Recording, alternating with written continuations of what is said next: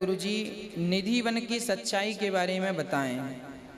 निधि one में आज भी श्याम सुंदर श्री राधा रानी के संग, आज भी गोपियों के संग, वहाँ आज भी रास रचाया जाता है। वहाँ एक छोटा सा मंदिर है, श्याम सुंदर का श्रृंगार रखा जाता है राधा रानी के लिए श्रृंगार रखा जाता है, पान रखा जाता है, सुबह देखो तो पान चबाया हुआ मिलता है।